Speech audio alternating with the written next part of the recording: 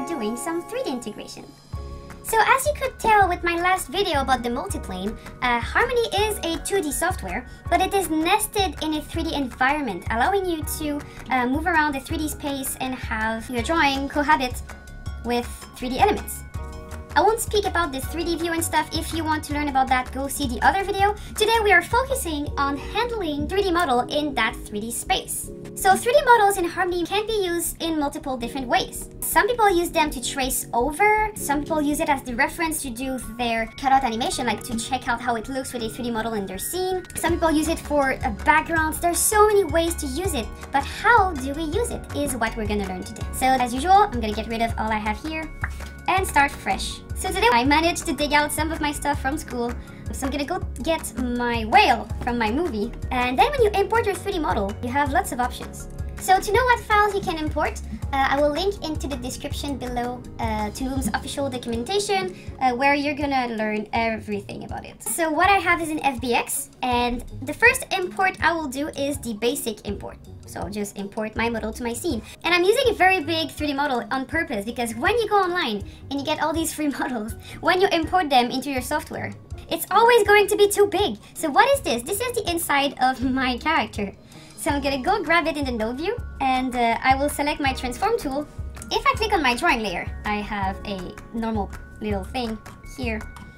But if I click on my 3D model, I have a 3D patroller. So of course, the green bar here is my Y circle. Uh, you also have the red circle, which is your X and Z. So you can move your thing around with the circle. If you press on the yellow square, you can shrink it and I'll turn it around like that. So it's very easy to just manipulate your object. So this is just the shell I was using in ZBrush to paint over it. So I only have the skin, I don't have any other pieces. But if you had a model with multiple pieces, you could actually kind of animate all of these little pieces uh, independently with pegs, which is kind of interesting. Sometimes it can be useful for uh, references.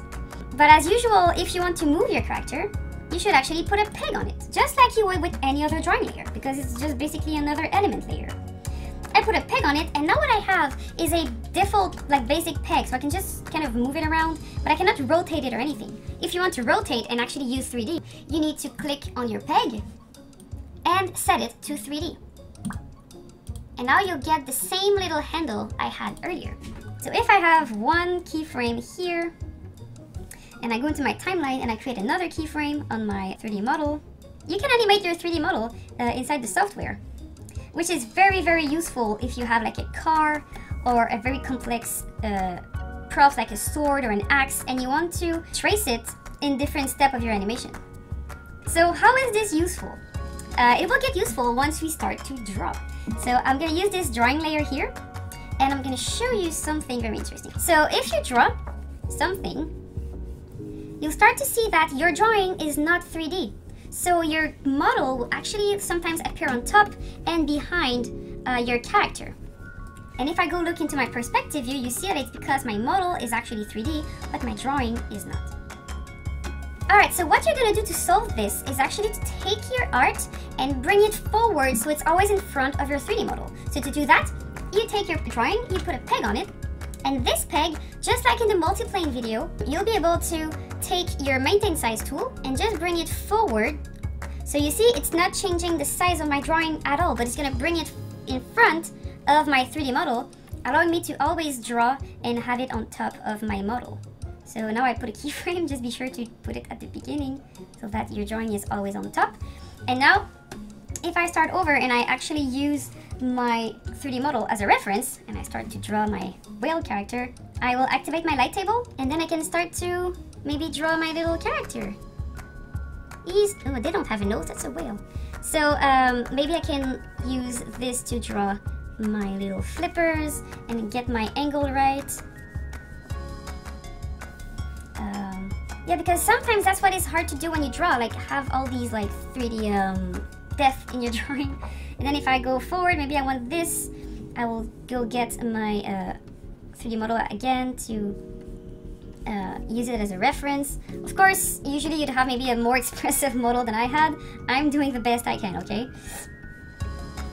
But uh, yeah, so you can just maybe use it as a reference to draw your character. And if I want it to be farther away, I can then use maybe this pose to get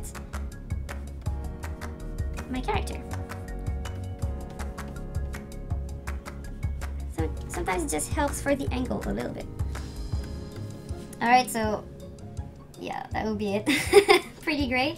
Uh, usually it's used for cars, it's used for like motorcycle, uh, swords and stuff. I just don't have the 3D model available. And yeah, I don't want to mess with like copyright issues. So I'm using my own. Amazing. But using 3D models like that is a bit, it's, it's a bit hard when you're not used to working in 3D. So it's okay, Toon Boom's got you. Uh, we have another options for you. I know a lot of uh, background artists that love to have Maya open on the side and take like screenshots of their software with their background. Take screenshot and import it like in Photoshop so they can like draw over it and have fun. But that requires you to have like two software. And if it's not Maya, if it's Blender or anything, it still requires to have two software. And you know how lazy I am, so I'm not gonna do multiple softwares today. So I'll start from scratch. I'm gonna go in File, Import 3D Models, go get the same one I've used before, and that will convert it to 2D, which is a very cool option. It will open, and you'll be able to manipulate your uh, object in a very safe environment. So all you have is this view. You can uh, zoom in and out. You can handle your translation, rotation with numbers, which is sometimes a bit reassuring for people that don't know a lot about 3D. You can also change your focal length, which is uh, really great, especially for backgrounds. Yeah, like that. So if I have this model, I can render it to my scene. And now I have it in my scene. And if I want to move it around, I can just put a peg on it or just move the drawing. And then if I move it around, what I'm moving is an image. If I go into perspective, you have kind of a 3D thing, but if you turn around, oh my god, it's a lie. It's just an image. So this is exactly like if you would go in another software and just took a screen cap and paste it in your scene. But the magic doesn't stop here. if I want to have another angle because I'm not satisfied with this one, so then I can like start over and go get my 3D model, right click on it, and then update my 3D model position. And it will reopen this box. You'll be able to like change the angle, render it to your scene, and voila, you can update it. So it's very great if you just want to sketch some things. Um, I'm really not good with backgrounds, so sometimes what I do is I just import like objects and backgrounds and I kind of trace over it to get the feel. Uh, sometimes you can also mix this technology with the guides of uh, Harmony, you know, the perspective tool. So you can have a background and kind of find your perspective with these uh, perspective points to make your background and stuff. Very cool. I hope you learned something today and that you're gonna have fun working with some 3D models in your scene. So have a nice week and I'll see you soon for another video.